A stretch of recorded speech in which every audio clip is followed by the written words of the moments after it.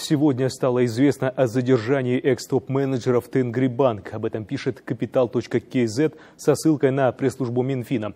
Сообщается, что под стражу взятые зампреда правления Бахтияр Ильясов и экс-заместитель директора алматинского филиала банка Асет Жадыков.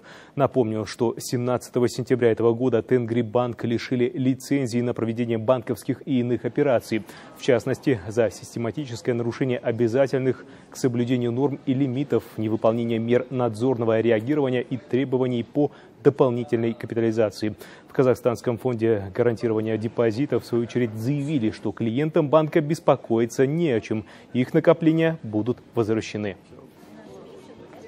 Вкладчики Тенгрибанк э, могут обратиться в любое из отделений Евразийского банка и получить э, свою выплату несколькими способами. Либо наличными в кассе банка, либо заполнить заявление и выбрать счет в другом банке для получения этих средств, либо Евразийский банк предусмотрел онлайн подачу заявления, когда э, происходит выпуск карточки, на эту карточку Евразийский банк зачисляет средства.